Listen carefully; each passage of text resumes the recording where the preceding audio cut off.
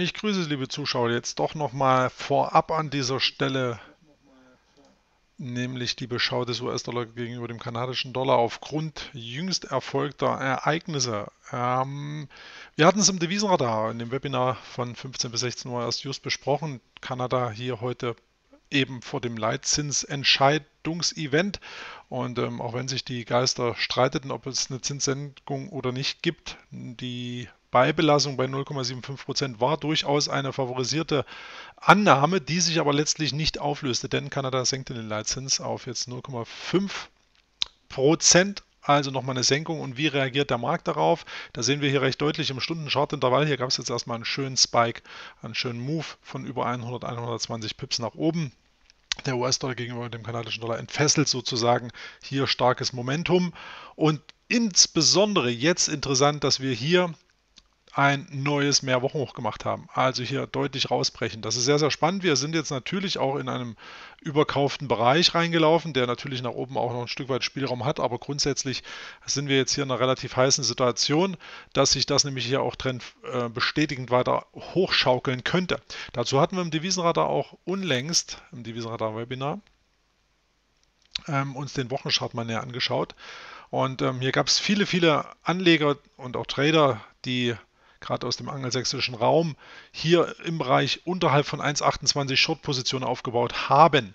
Eben vor dem Hintergrund dieses Horizontalwiderstandes, den wir hier sehen und der eben unlängst auch einige Male bestätigt wurde, zudem auch etliche Divergenzen im Chart zu ersichtlich oder besser gesagt ersichtlich waren. Und das sehen wir auch jetzt hier noch sehr, sehr schön.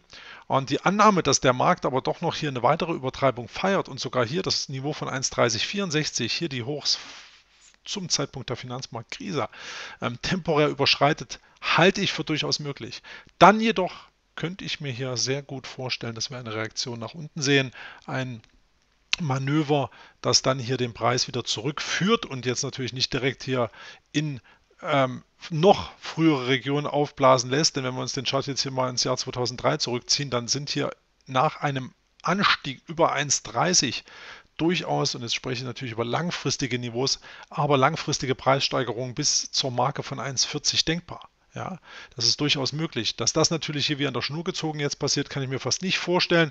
Vielmehr eben hier ein Ausbruch, ein Überwinden der Hochs aus 2009, dann entweder ja, so einen tiefen Rücksetzer oder aber auch nur marginaler Pullback, um dann letztlich den Pfad jetzt hier hinzufügen, dann sogar hier den Weg Richtung 1,40 einzuschlagen. Unglaublich aber war die Stärke des ähm, US-Dollars gegenüber dem kanadischen Dollar ist hier sehr, sehr offenkundig und insofern sind hier sicherlich viele Marktteilnehmer auch auf dem falschen Fuß erwischt worden, die eben hier auf ein weiteres Halten dieser Widerstandsmarke um 1,28 spekuliert haben.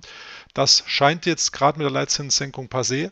Auch ähm, Janet Yellen war ja in der Pressekonferenz und hier wurde in Aussicht gestellt, dass im Jahr 2015 durchaus die US-Notenbank eine Anhebung eben äh, favorisiert und das sind im Prinzip zwei komplett konträre Seiten. Kanada senkt Leitzins, USA hat zwar noch nicht gemacht die Anhebung, aber redet immer davon und insofern dürfte dies hier den US-Dollar gegenüber dem kanadischen Dollar weiter beflügeln.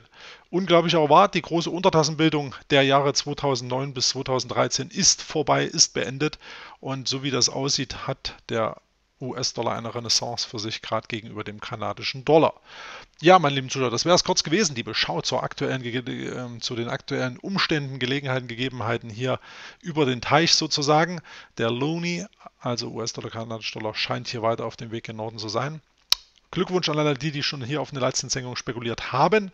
Alle anderen hatten hoffentlich rechtzeitig den Stop platziert, beziehungsweise waren vor diesem Event gar nicht erst investiert. Ähm, ansonsten Chancen gibt es immer wieder. Wenn Sie mögen, hören wir uns später wieder. Ihr Christian Kämmerer und ciao dabei.